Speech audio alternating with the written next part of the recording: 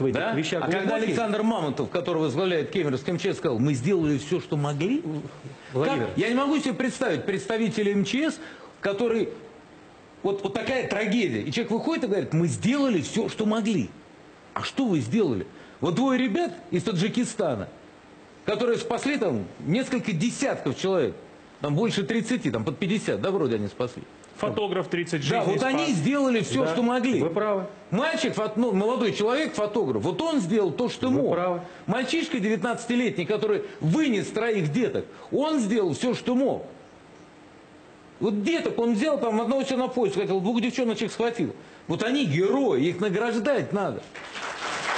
А когда представитель МЧС говорит, мы сделали все, что могли, а у тебя на руках 64 погибших человека, ну, ну, ну надо же, ну нельзя же быть такой эмоциональной глухотой страдать, да?